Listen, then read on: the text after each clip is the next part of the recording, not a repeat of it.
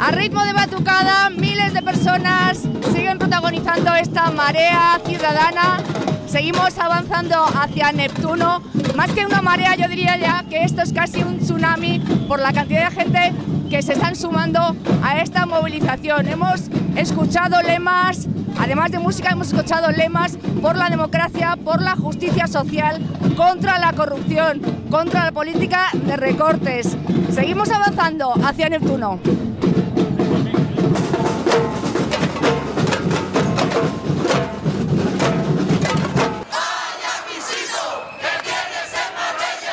Continúa esta columna desde Sol, su travesía por la calle de Alcalá hacia la Castellana. Ya se han unido muchas mareas, por ejemplo, la Blanca, La que Marea es la Blanca tuya. de la Sanidad Pública. ¿Qué queréis que pedís esta noche, esta tarde? Pues eh, reivindicamos todos los derechos que nos han quitado. Eh, yo en mi parte por sanidad pública, pero también por el resto, porque esto es una vergüenza de país, porque nos están robando por todos los sitios y hay que salir a la lucha. ¿Qué derechos crees que, se os han quitado, se os han privado y queréis recuperar? Pues eh, en principio la privatización de la sanidad va a convertir esto en un caos totalmente, porque se van a lucrar los más ricos y reivindicamos tener una sanidad pública como la hemos tenido toda la vida, porque yo creo que tanto ciudadanos como personal que trabajamos ahí estamos de acuerdo en tener una sanidad pública y la queremos todos. Entonces, Muy bien, pues muchas gracias. Ellas están representando, por ejemplo, a la Marea Verde en defensa de la escuela pública. ¿Y por qué estáis aquí? Pues por eso, para defender la escuela pública, que es la única escuela que es igualitaria para todos y donde no prevalecen los derechos de nadie por encima de lo que es la cultura y la inteligencia. ¿Vosotros pensáis que es posible cambiar las cosas con intervenciones ciudadanas como la que esta tarde está teniendo lugar en todo Madrid y en 85 ciudades de toda España? Eso es la esperanza que tenemos. Los resultados se verán, pero quedándonos en casa no vamos a conseguir nada. ¿Abogáis entonces por la acción, la acción, la gente en la calle? Yo que solamente quisiera decir una cosa al señor Rajoy. Dimitir no es un nombre ruso. Bueno, hay humor, como estáis viendo, muchas gracias. Hay humor, hay ganas de recuperar los servicios públicos y son muchos colectivos, hasta 300, los que se están sumando en esta marcha que va a llegar a Neptuno y nosotros, por supuesto, les vamos a acompañar.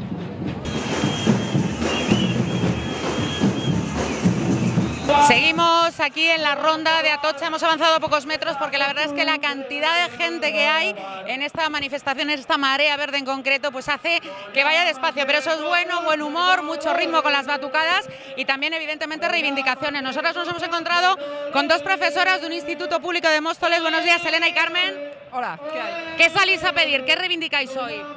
Pues que no se carguen la enseñanza pública, que es lo que parece que están pretendiendo. ¿Qué es lo que parece? Bueno, lo es. Elena, Carmen, perdona.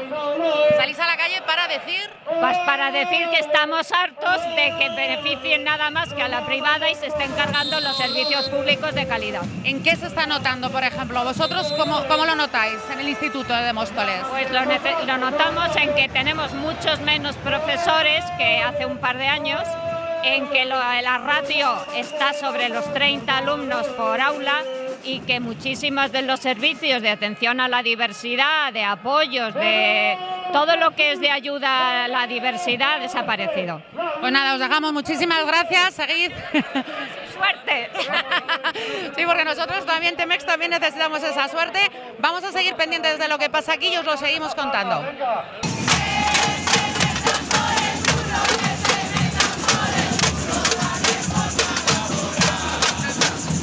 No queremos pagar sus deudas con sanidad y educación.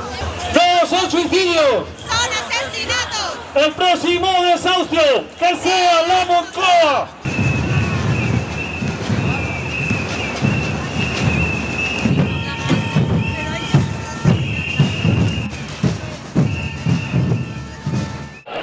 Hemos llegado ya casi a la glorieta de Atocha sin casi. Estamos ya prácticamente, tardaremos un poquito en cruzarla porque a pesar de la batucada que va imponiendo ritmo a esta marcha, a esta marea ciudadana, pues evidentemente hay niños, hay mucha gente y se va despacito.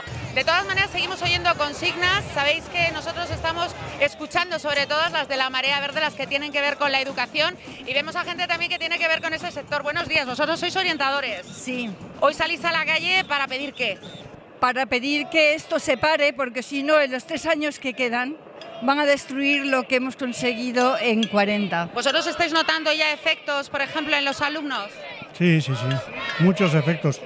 Todos los alumnos que tienen dificultades lo están pasando los que peor. ¿Por qué? Porque hay menos profesores de apoyo. Se han aumentado, por ejemplo, las ratios, hay más alumnos. Exactamente. Hay otros aspectos como, por ejemplo, que en el colegio que yo voy había dos turnos de comedor y este año solo hay uno, porque han quitado las becas y los padres no pueden pagar. ¿Y qué están haciendo esos niños? ¿Qué están haciendo esos niños? ¿Cómo comen? Se van a casa y se supone que comen. Pero habría que ver lo que comen y cuánto comen. ¿De qué colegio sois vosotros? Yo, el colegio que estaba hablando es el Beato Simón de Rojas de Móstoles. Ajá. Pero me decías que como orientadores estáis, eh, bueno, pues vais por varios centros escolares, no es solo ese, y también estáis pues comparando situaciones de cómo estaban antes y cómo están ahora. Claro, eh, un detalle es el comedor y otro es la disminución de profesores de apoyo, de logopedas, de profesores especializados en educación especial. Entonces, quien se, eso se ha recortado muchísimo y lo está pagando. más dificultades son, lo está pagando el que menos dinero tiene y lo está pagando el que más necesidad tiene de educación porque porque tiene es discapacitado. En, en los sectores más débiles están par- están atacando, pero no solo en educación, en todo están dando a los sectores más débiles, Al más débil. al más débil. Muchísimas ellos, gracias. ellos los sobres. A ver, Muchísimas para ellos gracias. los sobres, para los demás los recortes. Gracias, os dejamos que continuéis. Vamos a seguir, todavía nos queda un tramo para llegar a Neptuno. Recordamos que es donde van a confluir todas las mareas ciudadanas de este 23 y Temex va a estar pendiente de todo lo que ocurra. Gobierno dimisión.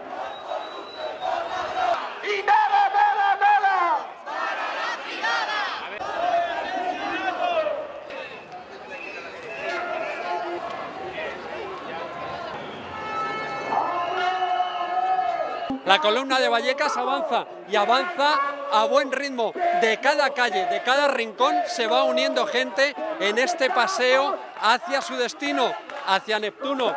Y aquí el grupo es absolutamente heterogéneo. Todas las mareas se están juntando en esta calle que la están tomando absolutamente.